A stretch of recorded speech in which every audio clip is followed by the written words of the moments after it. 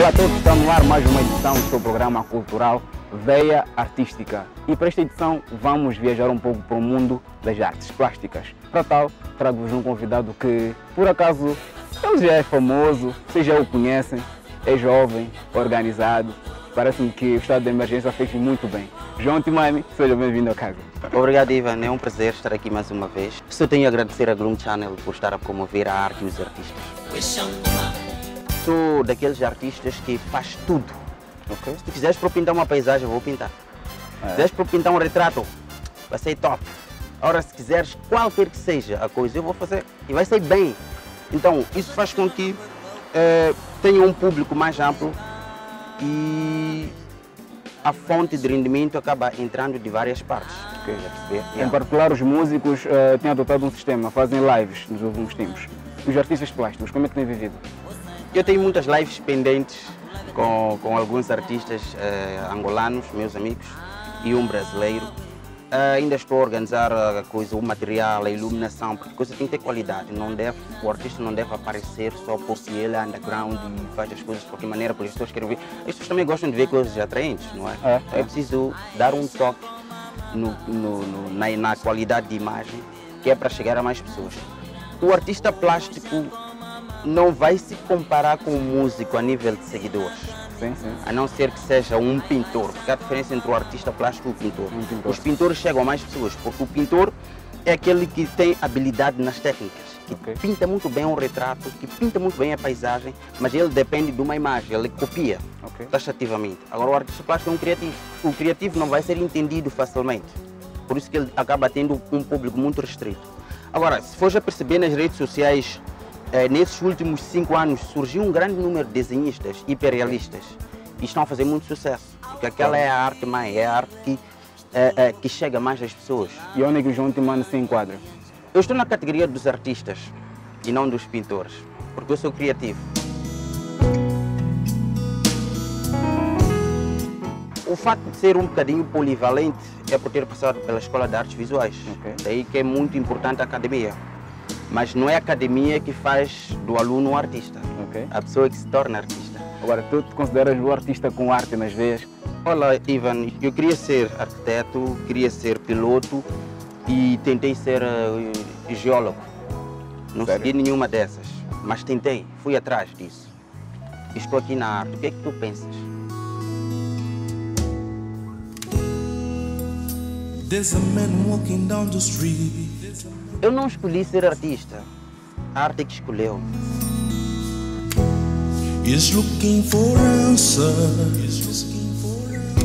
Traz-nos algo diferente, fora do habitual, para aquilo que é a tua arte. Pintura muralista. É a primeira vez? É a primeira vez e casou com uma parede gigantesca, que é... Uf, eu nunca tinha pintado um mural, sempre quis essa oportunidade, porque um trabalho urbano chega facilmente às pessoas do que o trabalho para a galeria. Desde o momento em que comecei a dar as primeiras pinceladas, as pessoas já vinham comunicar. Ok. Quer dizer, interagiam comigo, interagiam com as obras.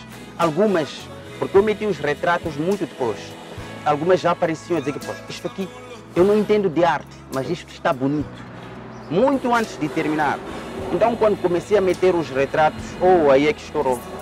Porque retrato é arte do povo, é das massas, as pessoas entendem facilmente.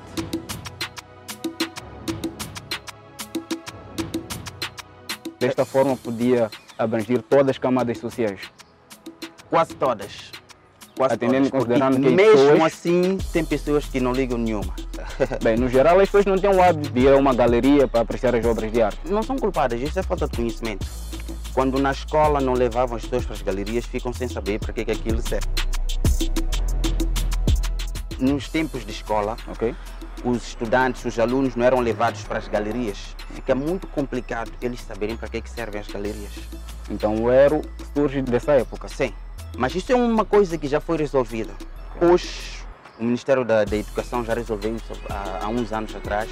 As crianças visitam galerias, estudam sobre arte nas escolas. Tem uma disciplina, parece que é ofícios. Aprendem quase tudo que a gente faz profissionalmente, eles já aprendem lá. Então são essas pessoas que vão crescer a saber que existe arte.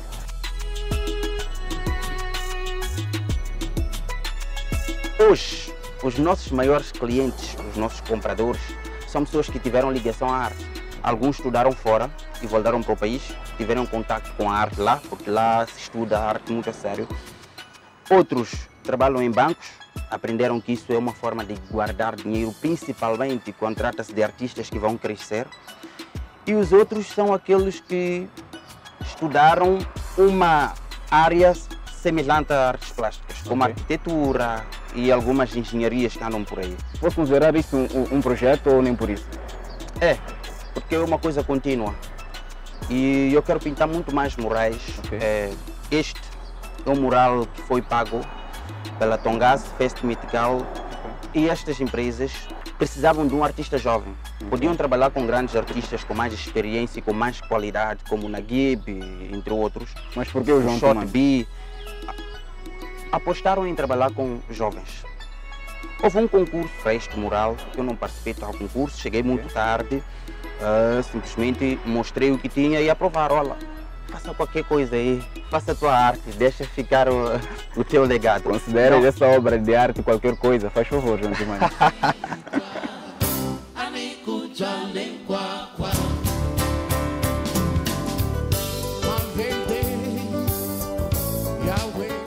Vejo aqui eh, grandes figuras, líderes africanos. Que mensagem queria transmitir através dessa imagem? Vou ser sincero, a ideia dos líderes nem foi minha, foi do Jorge Monlani. Depois de ter visto o mural, eu já estava quase a finalizar. Ele disse: Olha, não vou te mentir, o mural está bonito, mas está Ok. a faltar alguma coisa que vai comunicar, que vai chegar a mais pessoas. Meta algumas figuras conhecidas. Até sugeriu algumas imagens. Olha que quando comecei a pintar, a primeira imagem foi o Samora Machel. Estourou, estourou. Então ganhei aquele feeling de meter mais figuras.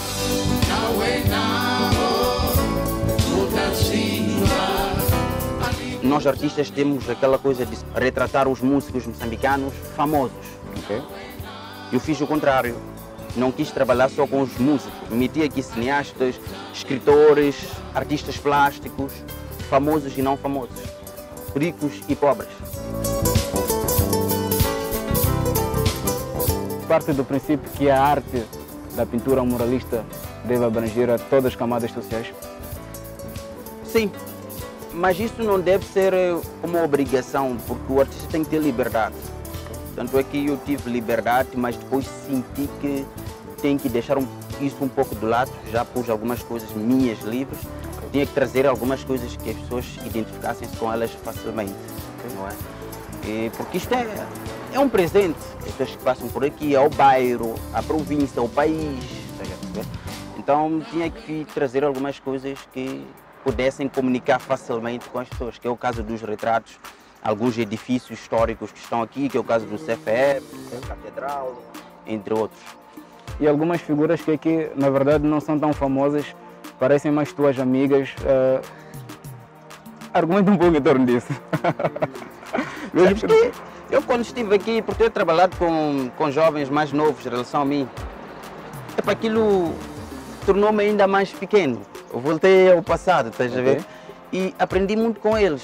Pude perceber o que é que eles gostam. Yeah. Então eu tive que representar aquilo que é para as outras pessoas da mesma geração também se identificarem com o mural. Ok. Estás a perceber? Quer dizer, este mural é para todas as gerações.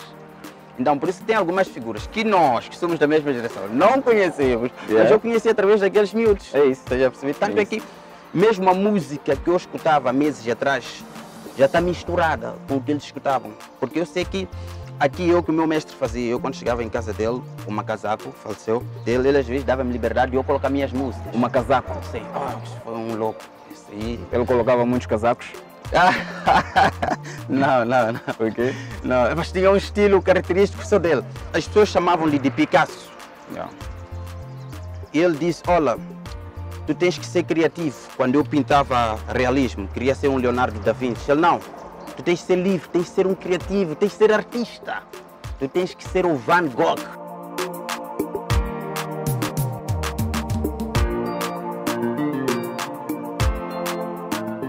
E pretendo levar esse projeto avante. Sim, quero pintar muito mais murais. Eh, tenho uma proposta, mas ainda está a ser analisada para pintar o mural da Gaza. eh, onde vou representar o Ngungunhani, entre outros. Em Gaza. Sim, em Gaza, sim, em Xixongue. Mas é um projeto que ainda está a ser avaliado, porque é para mural são grandes custos. E já agora, quais são as características eh, de uma pintura muralista? Comparativamente à arte que já fazia bem diferente. É, a pintura muralística ela é, é pública, é mais pública, outra restrita. A gente lança aquilo na rede social, nem todos têm acesso. E por mais que tenham acesso às redes sociais, a mensagem não vai chegar. Ok. E às vezes levamos a arte para a galeria, nem todos entram. Até porque as pessoas têm medo. Eu estive uma vez numa exposição, estava para entrar, ia visitar a exposição do amigo, e encontrei pessoas a perguntarem: é proibido entrar, quanto é que paga-se? Eu logo disse: olha, é livre, entre, entre. É o hábito, é o hábito que as pessoas não têm, a cultura, a falta de Sim, cultura. sim.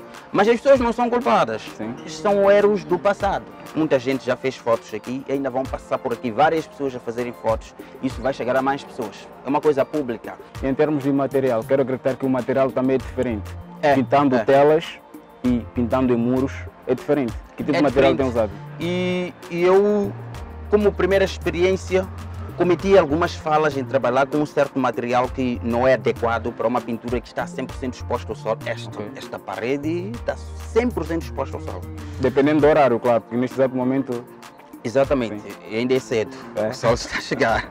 Olha aqui naquela altura, eh, era a altura de verão, agora como estamos no inverno é normal. é normal. A partir das 8 horas, 8 horas o sol já estava a raiar. E era das 8 até as 19. Eu queimei muito com sol aqui, estás a perceber? Minha pele ficou mais escura e muito estranha. Sabes que eu não gosto das fotos da época em que eu fiz aqui. É para estou irreconhecível. Ah, João Não, a Tomás, sério. A, a vaidade, a vaidade parece que fala sempre mais alto. Eu até nem queria pintar esse tipo de coisas no passado. Quando entrei na arte, naquela altura, eu só queria fazer retrato, queria fazer realismo. Ok. Arte de Leonardo da Vinci. Então, e aqui em Moçambique havia um poucos realistas, Ah, hoje são muitos, principalmente os de desenho, e fazem muito bem. E tenho até partilhado na- no meu grupo de Facebook, sempre partilho eles, porque gosto. O grupo É uma, privado, coisa, yeah, é uma coisa que eu não me vejo a fazer porque leva muito tempo, leva uma eternidade. E eu gosto da espontaneidade, estás Ok. a ver? E a liberdade. Sabes que copiar uma coisa E criar, durante- e criar há uma diferença sempre, assim. a diferença, há, há há mais satisfação, é uma terapia quando estás na criação Ok. do que quando estás a copiar algo. Ali estás limitado, ok. não podes sair. Esse é o teu primeiro projeto muralista. Será que podemos ter eh, uma junção, um casamento com outros artistas da mesma área, mais experientes, como o Shot B, por exemplo? Seria um privilégio pintar um mural com a Gabe, com o Shot B. Tem outros jovens muralistas, Afro Ivan, tenho visto por aí. E há um jovem que faz hiperrealismo nas paredes. Epa, mas ele faz aquilo com muito detalhe. Estás a perceber? Aprecio muito. Eu percebi que não sou um artista de competições espontâneas. Pintar um quadro e terminar no mesmo dia. Ok. Convidas-me para a tua televisão, para a vossa televisão, para ir pintar ali ao vivo e terminar, é impossível. E quanto tempo levou para, para essa obra? Levei dois meses e alguns dias. Tinha que ser feito em duas semanas, não foi possível. Eh, negociei com a gerência e eles são muito atenciosos e compreendem. Trabalha como tu quiseres, rapaz. Faz uma coisa bonita aí. Estás a perceber essa liberdade que eu tive? Percebo, que percebo, trabalhei percebo. aqui numa boa. No início foi difícil porque não estava habituado a sair de casa para ir fazer alguma coisa fora. Foi muito difícil, mas duas semanas depois ganhei eh, o hábito e, e já não aguentava ficar em casa. Nos dias de chuva eu zangava. Olha, eu tenho que ir para lá. Estás a perceber? Ok. E aí é, é uma, é uma felicidade. Isto que foi muito maravilhoso para mim.